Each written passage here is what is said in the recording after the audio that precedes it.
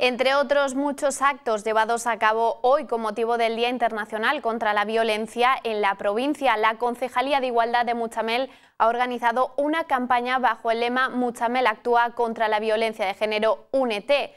Con este mensaje directo se ha reunido la Corporación Municipal sin presencia del único concejal de Vox a las puertas del Ayuntamiento, con el objetivo además de concienciar y sensibilizar a la ciudadanía para hacer frente a la violencia contra las mujeres. La programación de hoy ha arrancado con un acto en el consistorio a las 12 del mediodía, donde se ha dado paso a la lectura institucional y después han contado con la participación del Conservatorio Municipal Profesional Rafael Rodríguez Albert. Además, se ha instalado un punto violeta donde se podía encontrar con materiales e información de prevención sobre violencia de género. Durante todo el día, la Biblioteca Municipal ha ofrecido un stand con libros para sensibilizar y prevenir situaciones de violencia.